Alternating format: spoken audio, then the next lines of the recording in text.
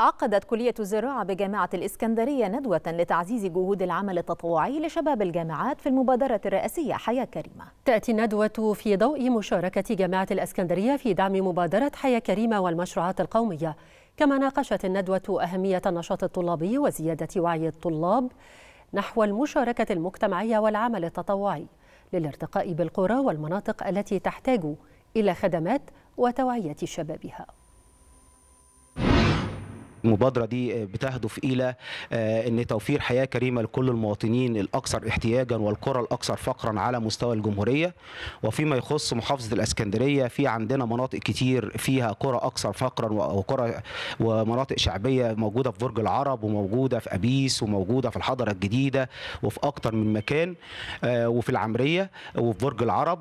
وطبعا فيما يخص بقى توفير الحياة الكريمة واندماج الشباب فيها بيوزعوا المواد الغذائية في المناسبات المختلفة وتوفير البطاطين في الشتاء بالإضافة إلى الحاجات اللي اوريدي اتعملت بقى بصفة أساسية زي المستشفيات وزي المدارس ومراكز الشباب وبيشوفوا الأماكن اللي فيها كثافة سكانية في المدارس وتعمل لها مدارس بديلة والطرق الطرق اللي كلنا لامسين الخطوة دي اللي موجودة في كل محافظات مصر. النهارده جايين نوضح للطلبة ما تم في مبادرة حياة كريمة ودورهم التطوعي وازاي يقدروا يخدموا بيه المجتمع المصري والمجتمع السكندري بصفة خاصة. إحنا شغالين على ثلاث محاور أساسية، المحور الأول هو القوافل الطبية ونزول القوافل الطبية في الأماكن الأكثر احتياجا بالتعاون مع مؤسسات مختلفة منها جامعة الإسكندرية.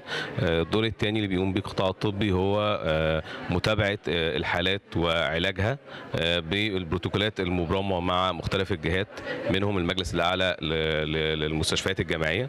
الدور الثالث وهو الدور الثالث هو التنسيق مع الجهات أو المؤسسات اللي حابة تتعاون في القطاع الطبي وتقديم خدمات طبية مجانية لأهالينا اللي محتاجين الخدمة الطبية. النهارده إحنا في جامعة اسكندرية في كلية الزراعة جايين نعرف الطلبة بدور مؤسسات حياة كريمة المختلف في شتى المجالات وأهمية العمل التطوعي ويكون لهم دور فعال في المشاركة المجتمعية تجاه وطنهم وتجاه التحديات اللي بتقابلها البلد وإن هم يكونوا بدورهم فعالين وإزاي يكون مؤثر ويكون صاحب بصمة في, وطنه ويكون كمان نموذج للأجيال اللي جاية إن هم يتشجعوا وإن هم يكون لهم دور فعال في المجتمع. فكرة التطوع ابتدت بإن إحنا بدأنا نعمل أعمال خيرية لأهالينا في الشارع.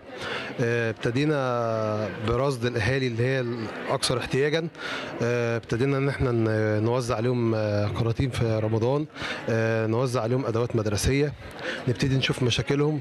ابتدينا في مبادرة إبدأ للمصانع عملنا كذا فعالية داخل المؤسسة حياة كريمة